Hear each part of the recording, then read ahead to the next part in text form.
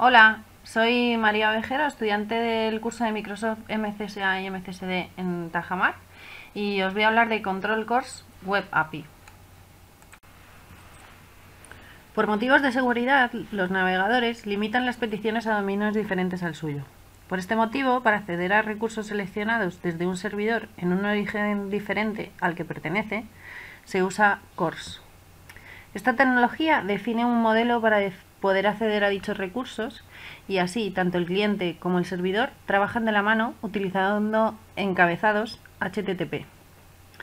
Para ver más claro en qué consiste esta tecnología, voy a realizar una aplicación en la que podremos visualizar cómo podemos incluir CORS en nuestro servidor. Vale, para hacer esta aplicación necesito dos tipos de proyectos. El primero será un web API que nos devolverá un dato al azar y el segundo será un proyecto de tipo MVC que estará alojado en otro dominio. Este será el encargado de llamar al API y mostrar los datos en pantalla. Vale, abrimos Visual Studio y vamos a crear un proyecto API que yo voy a llamar Web API Course. Ok.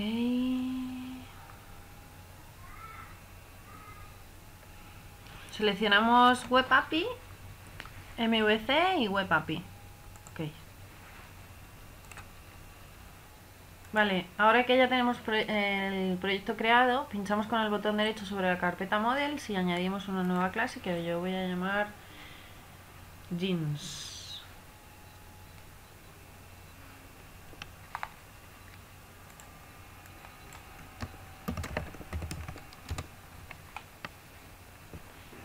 Vale, dentro de esta clase de jeans necesitamos tener un ID, una marca, un modelo y una imagen.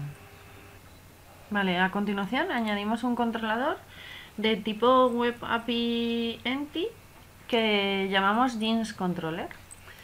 En este controlador voy a incluir mm, primero la lista de jeans, la lista de vaqueros que quiero que aparezcan al cargar la página y dos métodos.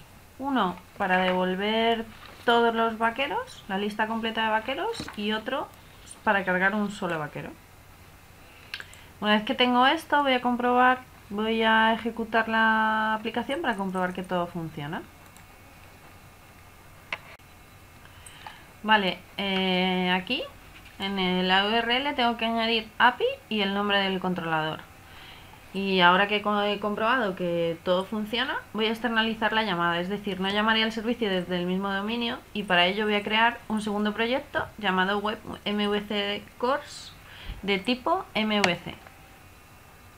Vale, una vez que estoy en el proyecto MVC Course, eh, para poder usar la parte visible del otro proyecto, el de Web API, voy a crear una vista en nuestro dominio que permitirá visualizar todos los jeans o buscar uno en concreto. Así eh, sobre la carpeta Views crearé una nueva carpeta llamada almacén y dentro de esta una vista llamada index.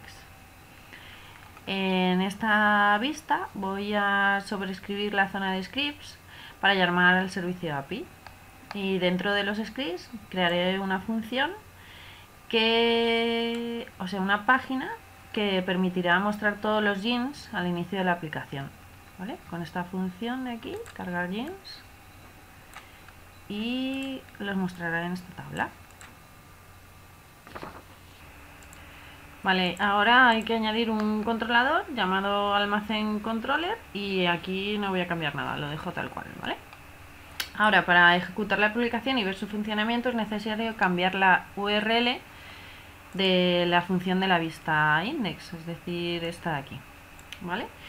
Eh, porque antes hacía la petición al mismo servidor y ahora hay que hacer una llamada absoluta a otro servidor. De este modo arranco la, aplicación de Web API y mm, copio la dirección URL, esta de aquí. La copio y la pego en la URL de la vista index cargar jeans.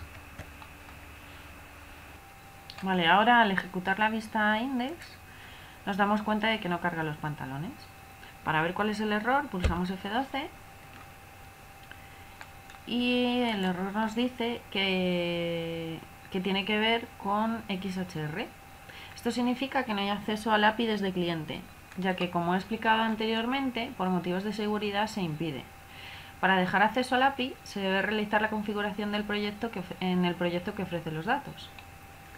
Así, en nuestro proyecto Web Course vamos a cargar los, agregar los paquetes nuggets que permiten configurar las, las clases. Para ello pinchamos en Web con el botón derecho del ratón y le decimos aquí, pinchamos aquí.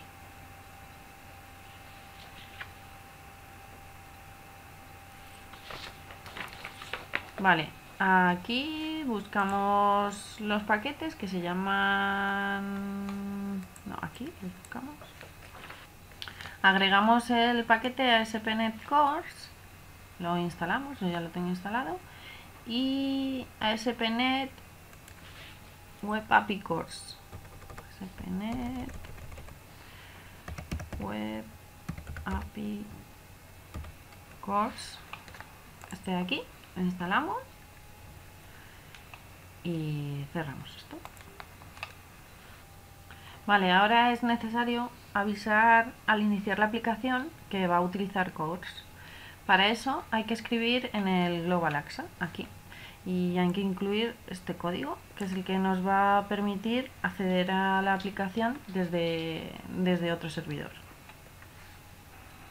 Ahora que ya hemos he incluido el código en el Global AXA para decirle que lo va a utilizar, que va a utilizar Course.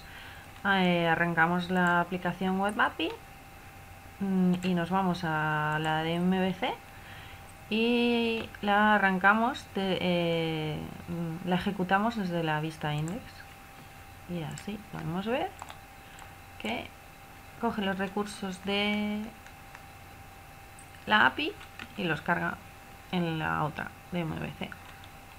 Y ya está. Espero que os haya servido la explicación y nada más. Gracias y hasta luego.